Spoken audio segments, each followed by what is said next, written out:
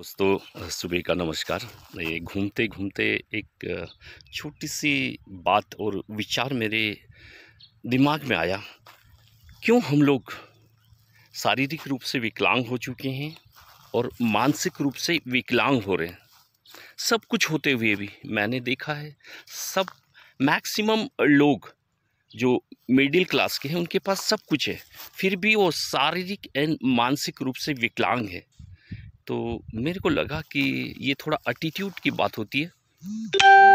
और कह सकते हैं, सोच ईगो एंड एरोगेंस एक ऐसी चीज़ है, जो अगर किसी पे भी आ जाए तो वो ज़िंदगी भर तरक्की नहीं कर सकता। वो स्वस्थ नहीं रह सकता, वो संयम में नहीं रह सकता। ये सब बातें मैं इसलिए बोल रहा हूँ कि पड़ोसी पड़ोसी से बात नहीं करना चाहता, रिश्तेदार रिश्तेदार से बात नहीं करना चाहता। और मैं मैं और मैं ही बोलता रहता है। हम सबको, हम हम और हम सब करना पड़ेगा। तभी हम जब अपना एटीट्यूड चेंज कर लेंगे, तभी इस देश का विकास होगा।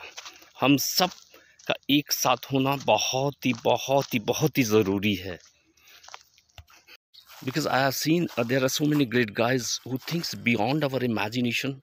Still, they says they are nothing in front of the world. They are just like a drop in the ocean.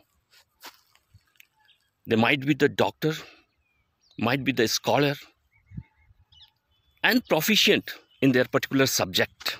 Still, they says they are just like a drop in the ocean.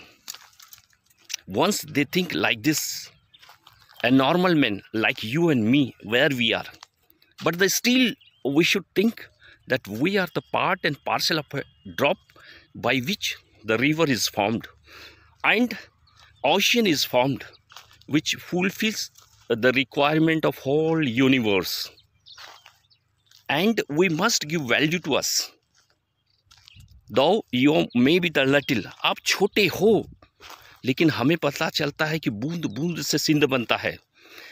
हम जहाँ भी काम करते हो, हमें वहाँ पे अपना हंड्रेड परसेंट देना होगा। तभी हम सच्चे देशभक्त कहे जाएँगे और कह सकते हो कि एक अच्छा इंसान जो सबसे ज़रूरी है लाइफ में, वो हम अपने को कह सकेंगे। आपको अपने को अच्छा इंसान कहने की ज़रूरत नहीं है। आपको प्रूव करने की ज़रूरत नहीं है। ज़माना आपको प्रूव करेगा। और वह जब आप शारीरिक रूप से स्वस्थ, हंसमुख होंगे, तभी आप एक कामयाब इंसान कहलाओगे। मेरी आप, सब लोगों से रिक्वेस्ट है, ईगो एंड एरोगेंस अपने आप में आने मत देना। ये आपको कभी भी विजय नहीं होने देगा।